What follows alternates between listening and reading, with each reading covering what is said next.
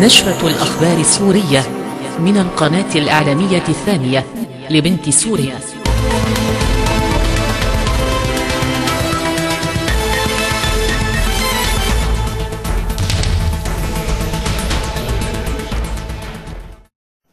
شدد وزير الخارجية السوري وليد المعلم على أن ما يجري في إقليم كردستان العراق وشمال سوريا هو نتيجة أخطاء السياسة التركية التي دعمت الجماعات الإرهابية في سوريا.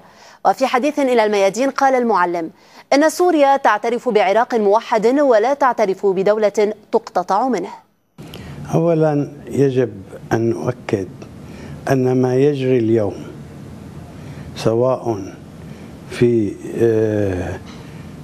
إقليم كردستان أو في شمال سوريا هو نتيجة أخطاء السياسة التركية.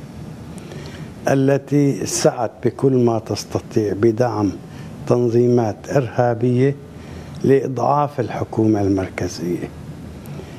وعندما لم تحقق أهدافها برزت الموضوع الكردي بشكل واضح.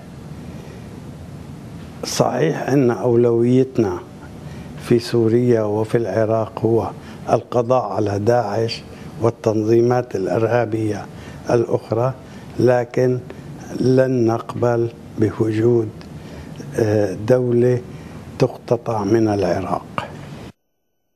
المعلم أكد أن إقامة منطقة خفض تصعيد في إدلب وفق أستانا ستة مؤشر واختبار لتركيا بشأن تغيير سياساتها تجاه سوريا. أولا في أستانا ستة أقيمت منطقة إدلب مخففة التوتر. بضمانة تركية كما ضمانة إيرانية وروسية. وبالتالي هذا مؤشر واختبار. إذا نجحت هذه المنطقة بوقف إطلاق النار وتخفيف معاناة السوريين هناك وتمهيدا لعودة إدلب إلى حضن الوطن السوري هذا اختبار لتركيا. أفادت مراسلة الميادين بأنه سيجري تطبيق اتفاق في حي القدم جنوب دمشق خلال ساعات. وبحسب الاتفاق من المقرر خروج دفعات من مسلحي حي القدم مع عائلاتهم باتجاه إدلب شمال البلاد. أما من يرغبون بالبقاء في الحي فستجري بحسب الاتفاق تسوية أوضاعهم. كذلك يشمل الاتفاق خروج عدد من أهالي كفريا والفوع المحاصرتين في ريف إدلب مقابل المسلحين الخارجين من حي القدم. وللمزيد من التفاصيل حول هذا الاتفاق في حي القدم ينضم إلينا من العاصمة السورية دمشق مراسل الميادين محمد الخضر. مساء الخير محمد. يعني هل هنالك من تفاصيل أوضح أيضا يعني الوقت الذي سيتم فيه تنفيذ هذا الاتفاق والمسار الذي ستسلكه الحافلات إن خرجت من حي القدم بريف دمشق باتجاه أدلب؟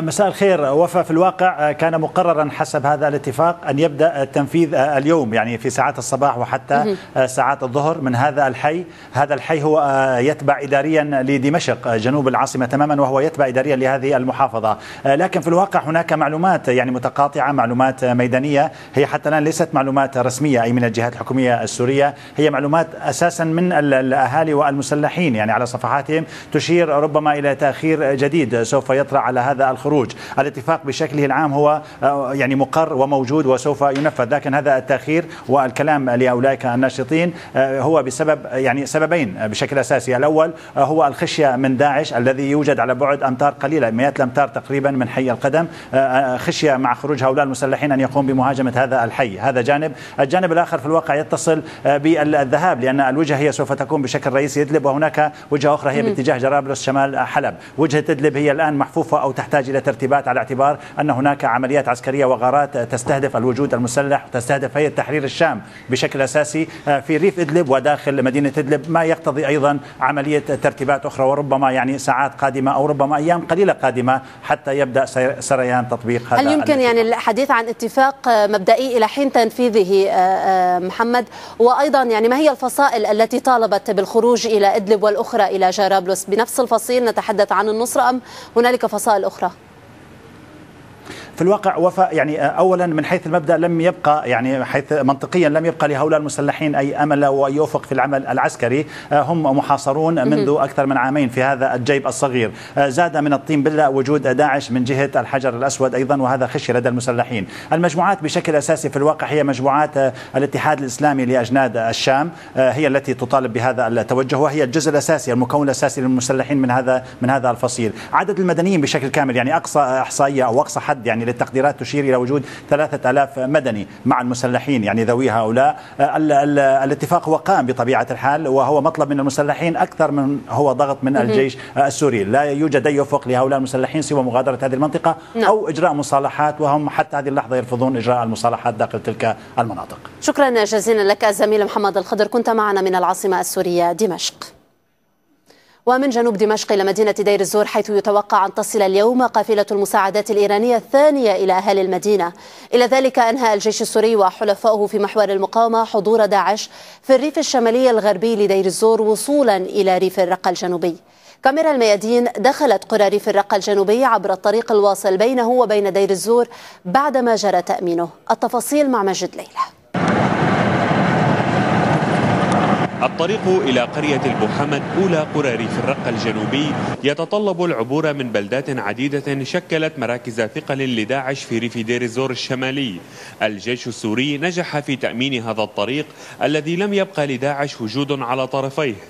كاميرا الميادين وصلت إلى قرية البوحمد التي ارتكب داعش مجزرة كبيرة بحق سكانها الذين رفضوا وجوده.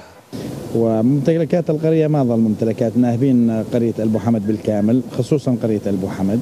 كوننا إحنا نتبع لعشيرة أبو حمد ماخذين ممتلكات الأهالي بالكامل وآخذين الأهالي ولقينا بعض الشباب جثثهم على نهر الفرات قاتلينهم كابينهم على النهر يعني عاملين مجزرة في قرية أبو حمد. عبر الطريق الواصل من دير الزور إلى ريف الرقة قرى على جانبيه تروي شوارعها حكاية المعارك التي خيضت هنا. عياش ومعدان أكبر التجمعات السكانية طال منازلهما دمار كبير جراء المعارك التي فتحت شريانا جديدا للجيش السوري والدولة السورية في شرق البلاد. شريان ربط دير الزور مع حلب عبر طريق مهم في البادية السورية وعلى محاذاة الفرات. مناطق خلت من داعش ريف دير الزور الغربي ريف محافظة الرقة من وإلى ريف حلب. وحلب كاملة لم يبقى لداعش أي وجود بهذه المناطق من حلب لدير الزور آه، تجاه باتجاه الرقة. وخاصة بعد الهجمة الأخيرة التي تعرض لها هذه المنطقة قرية أبو حمد والقرى المحادية لها آه، ودخول الجيش العربي السوري مع القوات الحليفة والرديفة وقضت على الفلول الدواعش كاملة بهذه المنطقة. هو الوجود الأول للجيش السوري وحلفائه في محور المقاومة في هذه المناطق منذ سنوات. وجود ثبتته سرعة حسم الجبهات مع الانهيار المتسارع لبنية داعش ومجموعاته. من ريف دير الزور الشمالي إلى ريف الرقة الغربي فحلب. لم يبقى لداعش وجود في هذه الجغرافيا التي تعتبر واحدة من أهم المواقع شرق البلاد. وجود سيمكن الدولة السورية والجيش السوري من إعادة ربط هذه المناطق بالبلاد وإعادة الحياة إليها بعد خروجها تحت سيطرة تنظيم داعش لأكثر من أربع سنوات. مجد ليلى من قرية البوحمد في ريف الرقة الجنوبي لقناة الميادين. ويبقى معنا الزميل مجد ليلى من دير الزور. أهلا بك مجد. يعني بعد أقل من الناحية الإنسانية بداية بعد أقل من ستة أيام تدخل القافلة الثانية للمساعدات الإيرانية إلى دير الزور. يعني ما هي أبرز المساعدات التي تقدم؟ هي مساعدات طبية خصوصا يعني أيضا معيشية بالنسبة لأهالي دير الزور الذين حصروا لمدة ثلاث سنوات أو أربع سنوات. نعم هي القافلة الثانية بالفعل في حوالي أسبوع من وصول القافلة الأولى التي حملت ألف طن من المساعدات الغذائية والطبية. هذه القافلة الثانية هي تتم للقافلة الأولى. أيضا يعني تحمل مئات الأطنان من الأغذية والمساعدات الطبية والدوائية والمعيشية لأهالي مدينة دير الزور. طبعا نحن ننتظر وصول هذه القافلة خلال الساعات المقبلة. هي الآن على الطريق وتوجهت إلى الطريق البري باتجاه مدينة دير الزور لتوزع توزع على السكان بشكل فوري وخلال يوم واحد يعني مثلما تم تنظيم توزيع القافلة الأولى قبل أسبوع من الآن. طبعا كل الترتيبات أنجزت لاستقبال هذه القافلة. أيضا تم التنسيق مع الجهات الحكومية هنا في مدينة دير الزور الهيئات الإغاثية منظمة الهلال الأحمر العربي السوري هي التي ستتكفل بتوزيع هذه القافلة عبر منافذ تم تحديدها ومنافذ تم اختيارها لي يعني لتوزيعها على السكان وفق بيانات جمعت من داخل المدينة وعن العوائل الموجودة داخل المدينة والتي عانت من حصار داعش لسنوات. طبعا خلال الساعات المقبلة ستصل هذه القافلة أيضا يعني هي مقدمة من الحكومة حكومة الجمهورية الإسلامية الإيرانية عبر منظمة جهاد البناء التي تعنى يعني بالأمور الإغاثية وتقديم المساعدات الإنسانية للمناطق المتضررة جراء الحرب في البلاد. أيضا يعني بحسب هذه المنظمة منظمة جهاد البناء البناء سيتبعها إضافة إلى كونها القافلة الثانية إضافة يعني سيتبعها قوافل أخرى ومساعدات أخرى مقدمة من الشعب الإيراني إلى المدنيين هنا في مدينة دير الزور ويتم يعني أيضا التركيز على المدينة مدينة دير الزور بشكل أساسي كونها يعني عانت نعم لسنوات من حصار خانق يعني فرضه تنظيم داعش على هذه الأحياء التي يقطن التي تقطنها يعني مئات العائلات من أهالي مدينة دير الزور. يعني كل هذه المساعدات تصب من ناحية إنسانية لمساعدة هؤلاء السكان المحاصرين طيلة هذه الفترة. إن كانت مساعدات طبية أو غذائية. أشكرك جزيل الشكر زميل مجد ليلى. كنت معنا من دير الزور. ونبقى في الشق الإنساني حيث تنفس مئات المدنيين من سكان ريف دير الزور تحديدا الغربي الصعداء بعدما وفر الجيش السوري مراكز إقامة لهم في المناطق التي جرى تحريرها من داعش على أمل العودة إلى منازلهم بعد تأهيلها.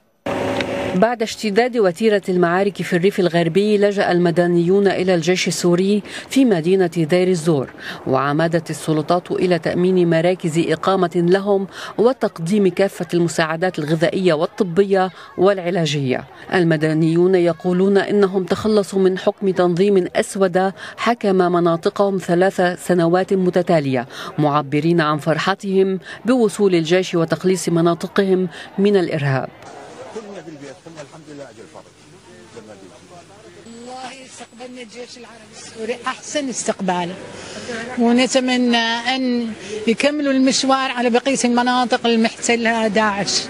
لأنه داعش يحاول أنه يذل الشعب. هي فرحة عبر عنها الأطفال من خلال تأكيد شوقهم للعودة إلى مدارسهم بعد حرمان دام سنوات عديدة نتيجة إغلاق التنظيم مدارسهم بهدف منع التعليم والتعلم في تلك المناطق وفي محاولة لفرض مناهج خاصة به في المنطقة.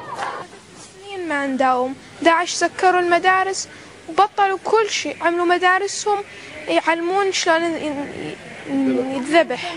مسؤولو محافظات دير الزور وجهوا نداء إلى المدنيين الموجودين في المدينة والريف للتوجه نحو مناطق سيطرة الحكومة السورية مع إبداء الاستعداد لتأمين مراكز إيواء مناسبة واستنفار الهلال الأحمر السوري والجمعيات الخيرية لتقديم كافة المساعدات اللازمة لهم.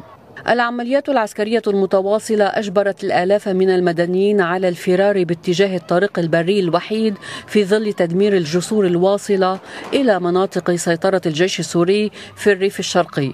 فلجأوا إلى مناطق سيطرة قوات سوريا الديمقراطية في مخيمات لجوء أعدت في الحسكة ودير الزور. نشرت وزارة الدفاع الروسية صورا لقصف روسي استهدف مواقع لمجموعات مسلحة في مدينة إدلب السورية. المتحدث الرسمي باسم الدفاع الروسية إيغور كوناشينكوف نفى الأنباء التي تحدثت عن توجيه ضربات جوية روسية نحو مناطق سكنية في إدلب. وأوضح أن القوات الروسية قصفت عشرة أهداف للإرهابيين في محافظة إدلب. وأضاف أن الضربات الروسية جرت بعد طلعات استطلاعية وجمع معلومات من مصادر أخرى مؤكدا أن المواقع التي دمرت استخدمت خلال الهجوم الذي استهدف الشرطة العسكرية الروسية قبل أيام. إلى ذلك كشف رئيس الوزراء التركي بن علي يلدرم أن روسيا تبحث مع تركيا وإيران في إقامة منطقة خفض توتر في عفرين. وكانت وحدات حماية الشعب الكردي قد أعلنت في أذار مارس الماضي عن اتفاق مع القيادة الروسية يقضي بإنشاء قاعدة روسية في عفرين وانتشرت الشرطة العسكرية الروسية في المدينة مطلع الشهر الحالي. أصدر السيد الرئيس بشار الأسد المرسوم رقم 282 للعام 2017 القاضي بتعديل المادتين 117 و 171 من قانون تنظيم الجامعات بما يمنع جواز النقل والتحويل من الجامعات غير السورية والجامعات السورية الخاصة إلى الجامعات السورية. مع السماح بنقل الطلاب من جامعات حكومية غير سورية إلى الجامعات السورية إذا كان معدل الطالب في الشهادة الثانوية يخوله الالتحاق بالجامعة والكلية التي يرغب في النقل إليها في العام الدراسي الذي حصل فيه على شهادته الثانوية. والسماح بنقل الطلاب السوريين من هذه الجامعات إلى الجامعات السورية في حال وجدت مبررات لنقلهم من بعض البلدان. كما نص المرسوم على أنه لا يجوز التحويل أو النقل في درجتي الماجستير أو الدكتوراه بين الجامعات السورية أو من جامعات خاصة سورية أو جامعات غير سورية إلى الجامعات السورية. كما أصدر السيد الرئيس بشار الأسد اليوم القانون رقم 29 لعام 2017 القاضي بتعديل بعض أحكام القانون 24 لعام 2006 المتعلق برفع الحد الأدنى لرأس مال مؤسسات الصرافة والترخيص لها. تم آه، توقيع قانون المرتبط برفع رساميل شركات الصرافة إلى مليارين ليرة. وهذا الأمر حيوي جدا بالنسبة لنا لأنه خلال سنوات الحرب آه، صار في تباين كثير كبير ما بين ملاءة شركات الصرافة وملاءة المؤسسات المالية عموما. والحوالات أو المبالغ المالية والعمليات اللي عم تتم من قبلها. بناء عليه بدأنا بشركات الصرافة والقانون حاليا أوصلها إلى 2 مليار ليرة لشركات الصرافة لحد الأدنى لرساميلها بالنسبة للمصارف ومؤسسات التمويل الصغير خلال الفترة القريبة القادمة إن شاء الله راح يصير في أيضا رفع لرساميلها وهي أيضا على علم بهذا الموضوع. وإن شاء الله بتوصل لمراتب تتناغم مع تطلعات التنمية القادمة بسوريا.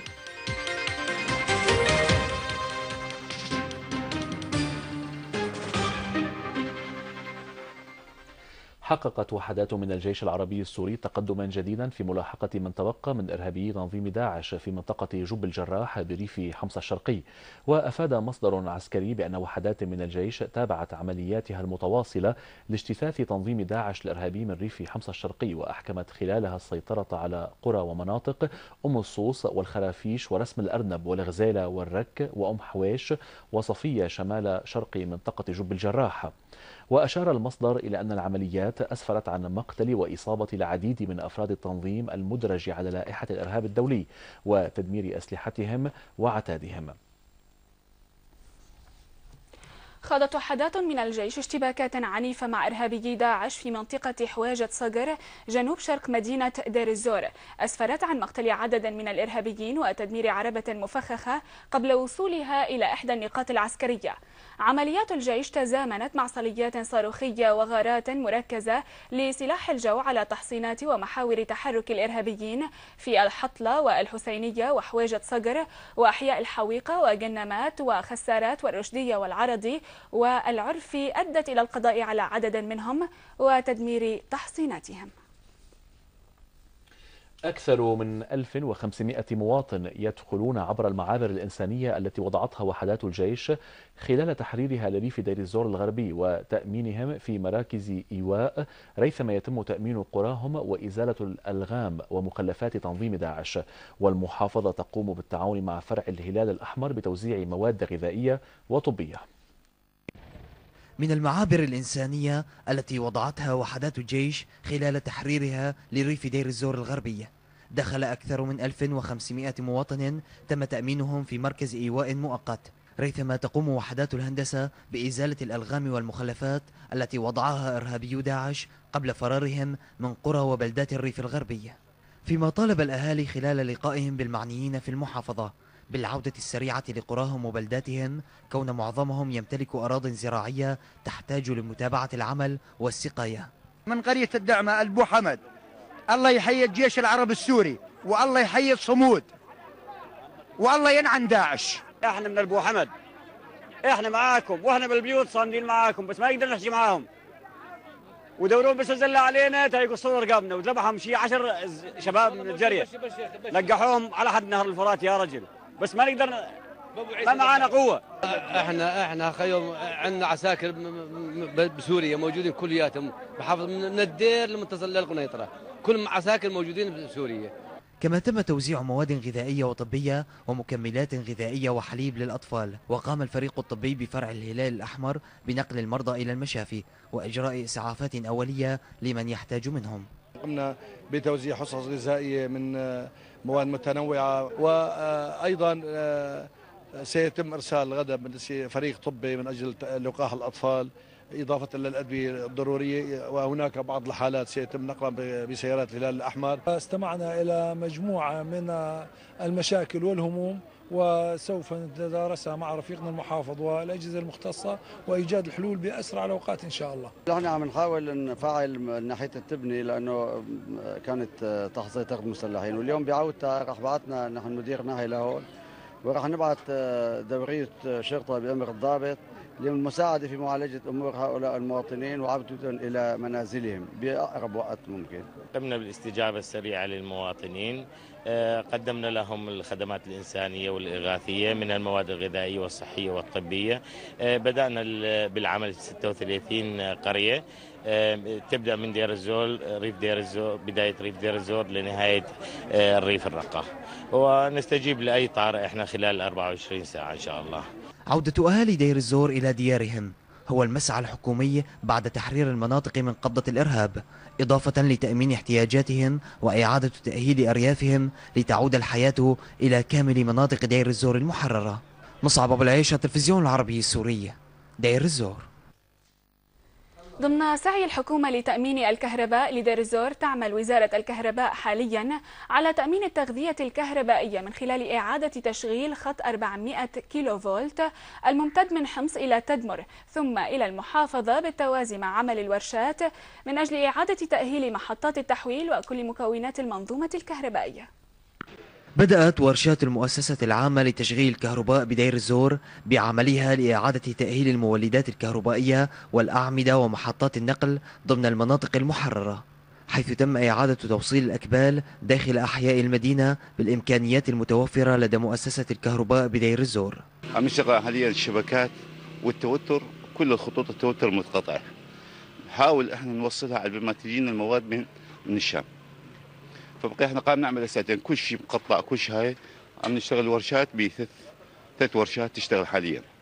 ثلاث روافع مع الورشات كلها كاملة.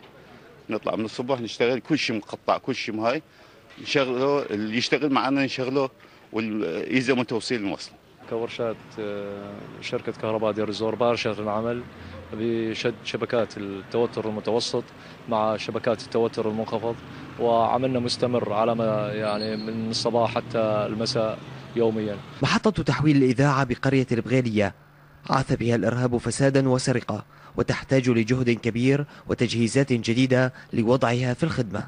تعرضت المحطة لأضرار كبيرة جدا من قبل المجموعات الإرهابية. ورشاتنا بهالوقت هذا تقوم باللي تقدر عليه بإصلاح وتأهيل القواطع وبعض المحاولات وجاهزين الورشات بكل الطاقات إنه تشتغل مشان تأمن الكهرباء للمواطن. نسبة العمل اللي أنجزناها يعني جيدة بالنسبة للامكانيات المتوفرة بين إيدينا. إحنا طبعا بحاجة عدد من محاولات الاستطاعة زائد محاولات التيار والتوتر عودة الكهرباء إلى دير الزور بعد غياب لأكثر من ثلاثة أعوام. تحتاج إلى مضاعفة الجهود وتأمين مستلزمات العمل كافة لإعادة النور إليها. وزارة الدفاع الروسية كشفت عن إقامة جسر فوق نهر الفرات بريف دير الزور لنقل المعدات العسكرية والجنود إلى الضفة الشرقية من النهر للمشاركة في العمليات العسكرية البرية للجيش العربي السوري ضد إرهابي داعش. وذكر رئيس خدمة الطرق في الوزارة فلاديمير بوروفيتسيف أن الخبراء العسكريين الروس قاموا خلال أقل من يومين ببناء الجسر على بعد كيلومترات من مدينة دير الزور لنقل المعدات العسكرية والجنود إلى الضفة الشرقية من نهر الفرات. وبين المسؤول الروسي أن طول الجسر يبلغ 210 أمتار ومن الممكن أن تمر عبره 8000 عربة يوميا بما فيها المدرعات الثقيلة والدبابات ومركبات المشاة القتالية والمنظومات الصاروخية مشيرا إلى أنه سيستخدم أيضا لإخلاء الجرحى وإيصال المساعدات الإنسانية إلى القرى التي يستعيد الجيش السوري السيطرة عليها. واصلت طائرات التحالف الأمريكي سلسلة اعتداءاتها على المدنيين وارتكاب المجازر بحقهم حيث شنت غارات على محافظة الحسكة راح ضحيتها تسعة مدنيين. مصادر أهلية وإعلامية أفادت بأن طائرات التحالف الذي تقوده الولايات المتحدة بزعم محاربة تنظيم داعش الإرهابي شنت غارات على بلدة مركدة على بعد نحو 100 كيلومتر جنوب مدينة الحسكة ما تسبب باستشهاد ثلاثة مدنيين بينهم امرأتان إضافة إلى أسرة عراقية مؤلفة من ستة أفراد نزحت في وقت سابق من الموصل هربا من اعتداءات إرهابي داعش وقصف التحالف. وأشارت المصادر إلى أن طائرات حربية تابعة للتحالف الأمريكي أغارت على قرى في أقصى ريف الحسكة الشرقي قرب الحدود مع العراق تسببت بوقوع أضرار مادية كبيرة في منازل الأهالي وأملاكهم. جددت وزارة الدفاع الروسية تأكيد أن الغارات الجوية ضد مواقع الإرهابيين في سوريا يتم تنفيذها بناء على معلومات دقيقة متقاطعة من مصادر عدة نافية التقارير المتداولة أمس عن قصف أحياء سكنية في إدلب.